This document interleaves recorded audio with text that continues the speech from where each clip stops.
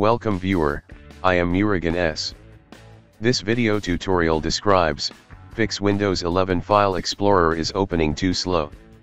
First method is right click start button, click task manager.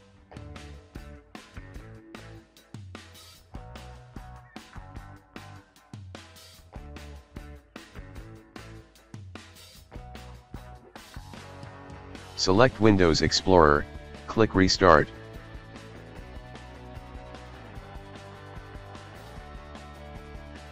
Second method is right-click Start button, click Run. Copy text from description and paste it. Delete all files.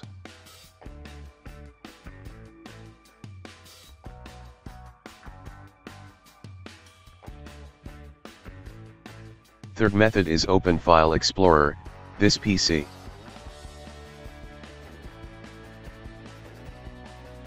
Right-click Downloads, click Properties.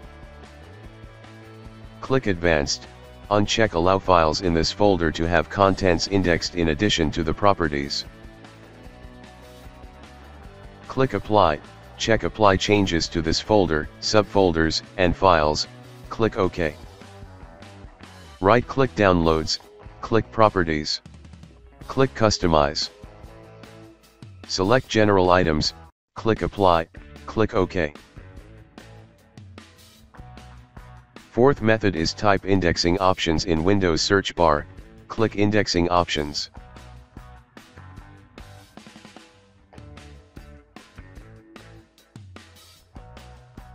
Click Advanced. Click Rebuild.